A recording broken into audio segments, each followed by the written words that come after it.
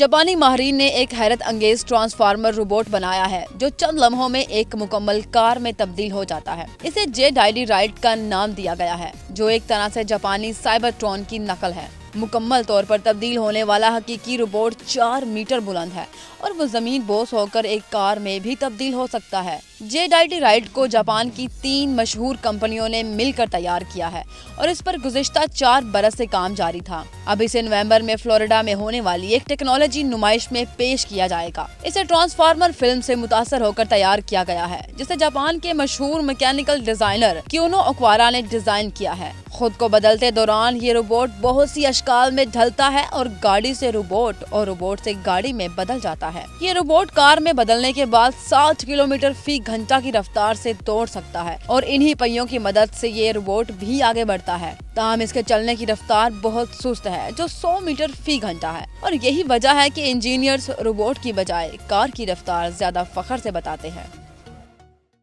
Please subscribe channel 9 News Web TV and don't forget to click the bell icon. Thanks.